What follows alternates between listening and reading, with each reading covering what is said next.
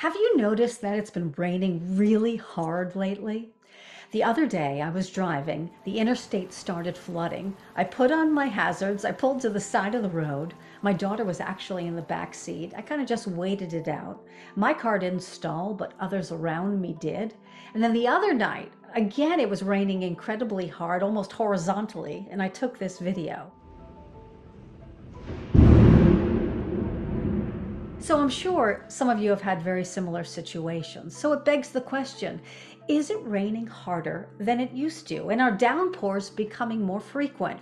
Why in some spots is it raining harder? And is our property at risk of flooding? In this video, I will answer all those questions and actually give you a tool. You can look at your own home, and I even went online and I tried it myself, put in my home and put in a US landmark, and you wouldn't believe the risk for flooding at this place, and I will show you all of that. So if you appreciate this video, please give it a like and subscribe to our channel.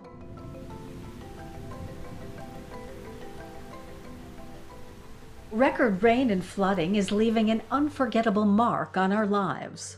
From Albany, New York to Albany, Georgia, rain records were shattered in 2023. In July, the Northeast had two months worth of rain in a matter of hours, flooding streets, homes, and businesses. And it's not just anecdotal. These events are actually becoming more extreme in many places. Historically, we have always had these events, but but they have been, you know, we have been getting more heavy rain, and they have been occurring more frequently, and have been, in many cases, more intense in terms of flooding damages. The downpours are making flooding more frequent, and flooding is America's most expensive disaster. For a majority of U.S. residents, two thirds of their wealth is in their home, and most Americans don't have flood insurance. So just one flood event can wipe out a lifetime of savings. This heavier rain is the result of rising temperatures in a warming world. The warming atmosphere is essentially supercharging the water cycle the process in which water moves through the earth and the atmosphere. Warming temperatures increase the rate of evaporation, and with more evaporation, there's more water in the air, causing more intense rainfall, which means more flooding. And so you can think of this as um, just like our human bodies. So in a in a warmer day in hot temperatures, we drink more water, we are thirstier, and so is the atmosphere due to high temperatures. And so, as the atmosphere absorbs uh, more moisture and water vapor, that water vapor has to eventually come back in the form of precipitation over land and oceans. And given that the world has warmed more than one degree Celsius since pre industrial times, that means we can expect more rain. And so you can think of this as with each one degree Celsius of warming, there is about 7% increase in precipitation in general. So that is one of the primary processes through which global warming is intensifying precipitation. With warming in the future, we do anticipate and project that the intensity of precipitation events will increase. It's not just the warming air, it's also the warming oceans that are strengthening rainfall intensity and flooding. Generally, when you particularly when you have really big precipitation events. The direct source for the meteorological system that's producing it is flow from these ocean areas, Gulf of Mexico or Western Atlantic. And the amount of water vapor is really directly related to the amount or the temperature of the surface of those water bodies. We've seen a steady increase in uh, the temperature of the ocean surface and that directly is influencing water vapor content.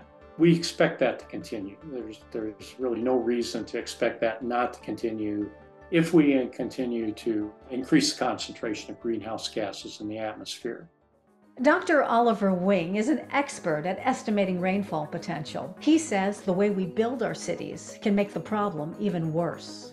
When we get very intense rainfall events, because of how much warmer the Earth is now than it was, for instance, in pre industrial times or 50, 100 years ago, there's just so much more rain associated with these events. It's falling in built up areas where it can't drain away, and there's more stuff, you know, more people, more buildings, more infrastructure for this excess water to interact with, which is creating so much more disruption than it ever used to.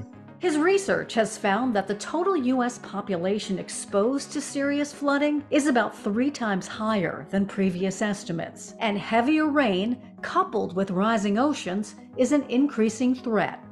Sea level rise is, is, is an undeniable and, and you know, particularly well understood aspect of how that will inflate flood hazard. So, irrespective of whether storm surges will get bigger, the baseline on which these storm surges occur is increasing and will continue to increase through through the next centuries. So we will continue to see throughout this century coastal communities flood hazard increasing quite drastically.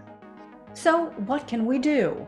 I think it is very clear now since the science is telling us that the intensity is changing over time, then we definitely need to incorporate those increases in the way we design infrastructure. If we want those infrastructure to be resilient in the future in a warmer climate, that is extremely important. And you can reduce your risk at home too. Very tangible things like have property level protections to ensure that when the floods or if the floods do come that their, their property is more resilient to it Maybe they, they can elevate their homes out of the floodplain if they happen to live there. Maybe they just make sure that the the expensive things that they own are on the top floor of their property and not the ground floor. Flood insurance is a big one. I'm no shill for the insurance industry, but if you want to be able to rebuild your home when a flood happens, then paying a premium so that flood insurance companies can reimburse you for those costs is, is crucial to, to being resilient. Educating yourself on the risks is key, and there are great tools online, including riskfactor.com. I recently visited this website and put in the address for NASA's Kennedy Space Center in Florida, where the Apollo missions launched. Using the tool, I found that this area's flood risk is a 10 out of 10 or extreme. That means it has a 99% chance of flooding within the next 30 years, with estimated repair costs in the millions. If you live in the US, you can try your home address too. It's free. And of course, there are other great flood tools in the description, or you can always visit our website at climateconnections.org. So, yes, it is raining harder, and yes, it is flooding more. So, it's on us to know our risks and how to protect ourselves, our communities, and our homes. If you enjoyed this video, please give it a like and subscribe to our channel.